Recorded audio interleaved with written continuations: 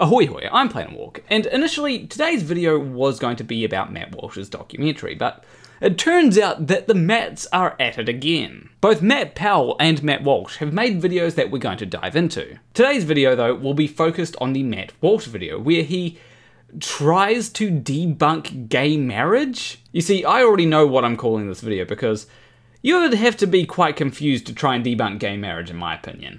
Anyway, enough bushing around the beat. Let's see what Matt Walsh has to say about it. Speaking, by the way, of the, uh, I guess the front runner, the Democrat front, front runner, Pete Buttigieg, he had some thoughts uh, recently. He was on State of the Union on uh, CNN, and he had some thoughts about the Republicans who do not favor federally codifying the redefinition of marriage. Now, there are plenty of Republicans, as we saw in the House, that were on board with it but uh, but that but the majority still were not. So I want to make a point that these days I think that most people are okay with gay marriage. Of course, there will be some countries where the majority of people will be against it, but even if you look to Japan, where it is still not legal, the majority of people in Japan are in support of gay marriage. And this is because most people realize that there's nothing wrong with gay people getting married. And the funny thing is, the people that get upset about it, like Matt Walsh, are people that it doesn't even affect. There are two groups of people that are affected by gay marriage. That is, gay people, including lesbians and bisexual people, as well as children that need to be adopted. Now, given that gay people generally want gay marriage to be a thing, they've got no issue with it. And children that are put up for adoption generally want to get adopted into a family, so most of them won't have an issue with it either. So the people who it actually affects it affects them in a positive way. So yeah, there's really no reason to be against gay marriage, although Matt Walsh has tried to find one. You'll notice that he said that they're trying to redefine marriage, but you see, that's not what they're doing at all, because as far as I can tell, in the United States, gay marriage is already legal. The act that they're trying to pass would prevent states from making gay marriage illegal and it will also prevent states from making interracial marriage illegal. Is that some kind of redefinition if we allow interracial couples to get married? Most people, including myself, will agree that it's not.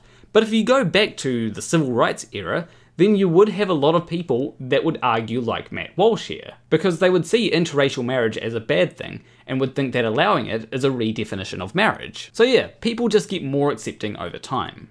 And Pete Buttigieg is very offended and personally hurt by that. And here he is explaining why. This is really, really important to a lot of people.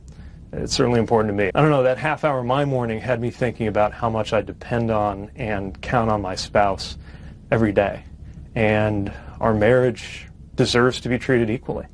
And I don't know why this would be hard for a senator or a congressman. I don't understand how such a majority of, of House Republicans voted no on our marriage on as recently as Tuesday, hours after I was in a room with a lot of them talking about transportation policy, having what I thought were perfectly normal conversations with, with many of them on that subject, only for them to go around the corner and say that, uh, that my marriage doesn't deserve to continue. If they don't want to spend a lot of time on this, they can vote yes and move on. And that would be really reassuring for a lot of families around America, including mine. Hmm. Um, a couple of things here. First of all, this guy's such an egomaniac. I mean, they all are, but, but especially this guy. Matt, you feel like far more of an egomaniac than Pete does. Especially considering that when it came to the book that Matt Walsh published, people suggested, hey, you should probably have consulted a children's author before publishing the book. And then Matt Walsh said, I did consult a children's author, myself and it's even more grating with him because he has there's just no basis for it for his ego. Like it has nothing to rest on no accomplishments to rest on at all.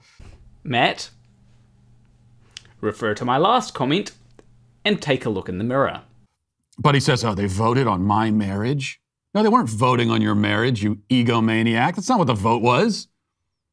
There wasn't there wasn't a, a, a bill on the docket. What, what do you think of pete buttigieg's marriage so the reason why Pete talked about his marriage specifically is because he is one of the people that could be affected by this thing. He was talking about how it is personal to him, and the language that he used reflected that. Yes, he could have said they voted no to gay marriage, but that doesn't carry the same weight as they voted no to my marriage. If he had said that they were voting no to gay marriage, it would have felt oddly detached because he is a gay man and it does affect him. Just because he said that doesn't mean that he's trying to make it all about him. He's just acknowledging that he is a part of the group that would be affected by this. No, specifically, it's about the should the federal government redefine marriage?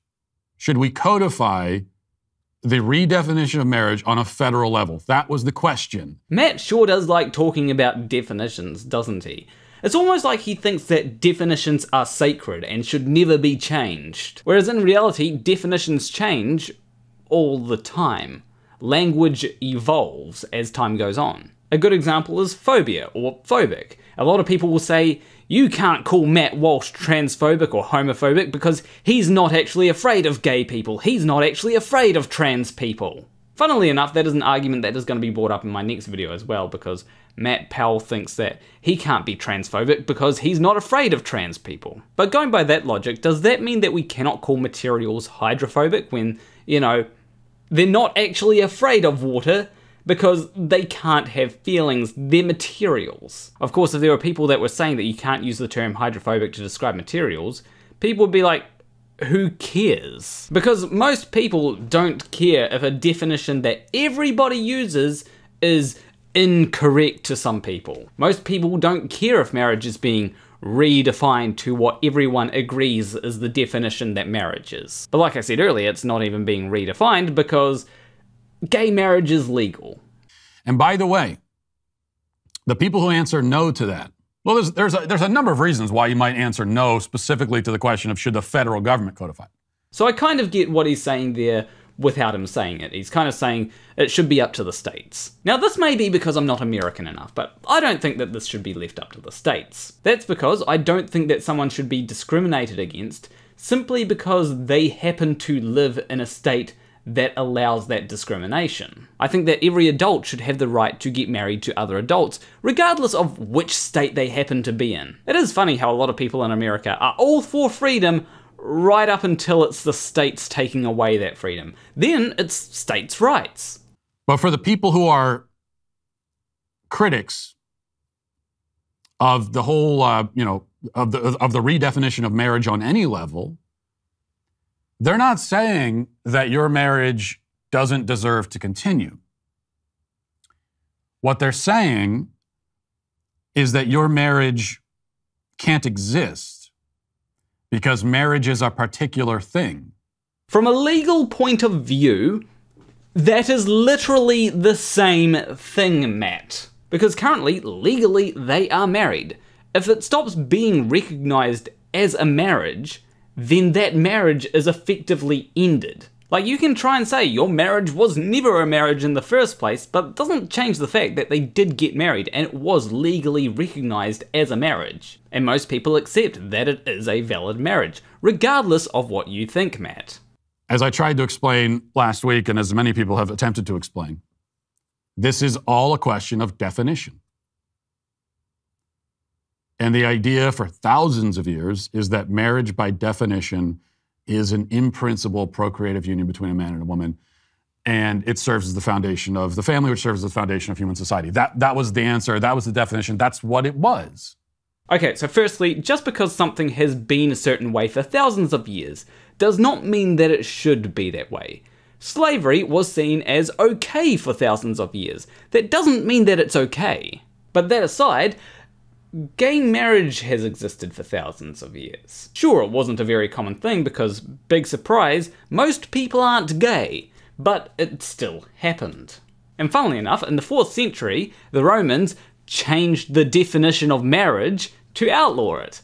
You see, I'm a bit of a traditionalist, I say facetiously, so I think that marriage should be what it was before the Romans outlawed gay marriage.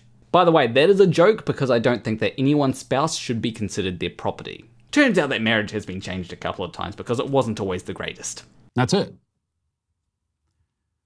And then people like Pete Buttigieg came along and said, well, it's not that anymore. And then the question in response has always been, well, then what is it if it's not that? Pete Buttigieg hasn't answered that question. Oh no. He's setting up for a second documentary which is going to be titled What is Marriage? But Matt, the reason why that question hasn't been answered is because most people don't ask it. I'm sure if you were to ask him in good faith, he would be perplexed by that question, because it's not a normal question that people ask, but he would probably answer it. Now, I may not be Pete Buttigieg, but I do have an answer for you, and that is it's a legal recognition of a relationship. Currently between two people, but we'll change that eventually. Matt Walsh is going to be terrified when he learns that after thousands of years, we still haven't finished changing the definition of marriage. He says, "Well, my marriage deserves to be treated equal to, to other marriages." Well, but but it, but equal means the same, Pete. And is it the same? Is your relationship is it the same as it is it in principle, in its substance, in its function? Is it the same as my relationship with my wife? And the answer is no, because my relationship with my wife has the potential to create new human beings, and yours doesn't. So, all right, so every marriage is different, and people get married for different reasons. Most people today do get married because of love. However, it didn't always used to be that way. But love isn't the only reason why people get married. Sometimes people get married because they want to move to the country that their partner is in. Sometimes they get married so that they can adopt. Sometimes they get married because of all the legal benefits that marriage has. Yes, some people get married because they want to have kids with their partner, but here's the thing. I'm not sure if Matt is aware of this, but you don't have to be married in order to make a baby. That's not how that works. It would be great if not being married was a form of contraception, but you can still get pregnant if you're unmarried. I'm not sure if your parents told you that, Matt. But just because some marriages are about children doesn't mean that all of them are. In fact, recently, my mum got married. She cannot have children. Yet she got married anyway. Should her marriage be invalidated because she can't have children? Of course not. But if we're going to say that gay marriages can't exist because they can't have children, then the same would have to go for any straight marriage that can't have children. Because otherwise, you'd be being logically inconsistent Well, homophobes tend to be logically inconsistent, but that's beside the point. That is a difference, right? That's a difference. We can all agree. No question about it. That's a difference. Yes, Matt, I agree. There is a difference, but just because a marriage is different doesn't mean that it doesn't exist. Is it, is it an important difference? Is it a definitional difference? No. I would say absolutely it is. Well, he's got me there. Guess he's debunked gay marriage. Well, everyone, time to pack up your things and be straight because gay marriage doesn't exist anymore. Of course it is. But even putting all that to the side, you know, he's. You know, I thought that he was going to expand on that and explain why there's a significant difference, but instead, all we just got is, of course it is. Now, some people might say, well, you didn't expand on your position. You just said that no, it's not a significant difference. But you see, I would say that the burden of proof is on Matt to explain why it is a significant difference, because he's making the claim that there is a significant difference there. Why does being able to have children make a significant difference? Because gay people can adopt, and people can have children outside of wedlock. And that's ignoring the fact that some straight couples either don't want kids or can't have kids. So, if kids are the issue, why are we focusing on gay marriage versus straight marriage? Let's be honest here, Matt Walsh just finds gay people to be icky. He should just come out and say it, and then we can go, okay, we already knew that. Let's go on about our day. He says that, well, how, how, could, how could we talk about uh, they, they would sit and talk about transportation policy with me and then, and then go and vote the way they did. Why should so what so they can't talk about, you, you cannot have a productive conversation about transportation policy with someone unless they agree with your definition of marriage? I don't know. It's kind of hard to have conversations with people who want to take your rights away. Like, you can have conversations about random things with people, but if you know that they want to take your rights away, that makes it kind of awkward, doesn't it? I guess for those Republicans, they figured, yeah, okay, well, I might not agree with this, but we can still talk about transportation. Why can't we? I mean, Pete didn't say that he can't have those conversations with them anymore. It's just one of them things where it's kind of weird where you have a conversation and they treat you normally, and then later they want to take your rights away? That has got to feel weird. And when you do learn things like that, it would obviously change your perspective of that person. You're the one who sets down kind of the, the, the, ground rules here and says, well, you have to agree with everything about my lifestyle or we can't talk about anything. That's your problem. That, that's that's uh, that's you deciding to do that. I feel like Matt Walsh is just reading way too much into it. I keep on having to go back and just make sure that I'm remembering it correctly because I don't remember him saying, "Oh, we can't have these conversations now." Yeah, I just went back and rewatched it.